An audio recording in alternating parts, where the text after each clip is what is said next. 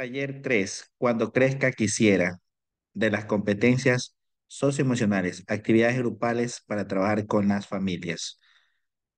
Uno, objetivo, explorar las metas y sueños que tuvieron los padres, madres de familia o representantes legales cuando eran niños, niñas y adolescentes con el objeto de visibilizar cómo proyectaron su futuro y cómo sus experiencias de vida y su educación influyeron en dicha proyección. Materiales, hoja de papel y lápiz.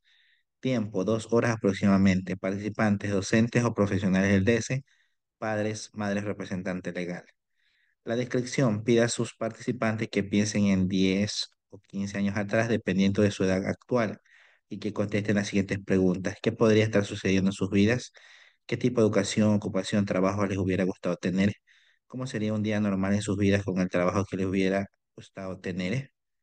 Luego pide que escriban cinco afirmaciones que inicien con la palabra quisiera sobre lo que serían para sí mismos si hubieran seleccionado la carrera o proyecto de vida soñado hace 10 o 15 años atrás.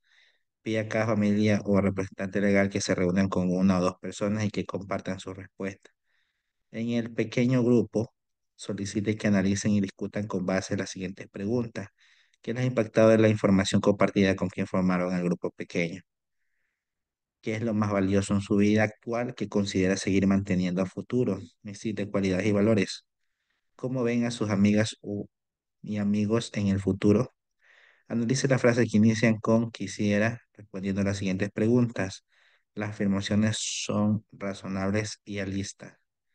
¿Cuáles de estas afirmaciones dependen de una buena educación? ¿Cuáles de estas afirmaciones dependen de venir de una familia con posibilidades económicas altas, bajas y medias? ¿Cuáles estas afirmaciones dependen de esfuerzo personal? ¿De qué otras cosas dependen estas afirmaciones? Se puede hacer otras preguntas si el clima de trabajo con los padres, madres de familia, representantes legales es adecuado o así lo requiere. En el cierre y reflexión, terminado el trabajo grupal, solicita a los padres, madres de familia, representantes legales que escojan una de las afirmaciones y realicen un mapa conceptual, un mapa mental, con todo lo que aprendieron de sí mismos con esta actividad.